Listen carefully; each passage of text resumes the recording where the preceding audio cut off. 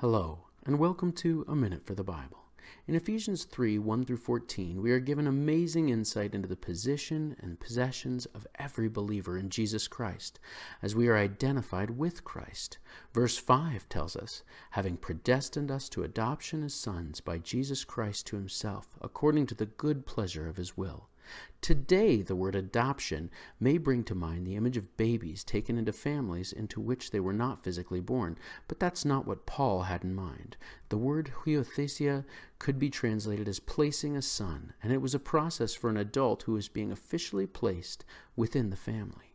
The placed son was given all the rights of an heir and a complete removal of his legal identity, including all debts that were held against him.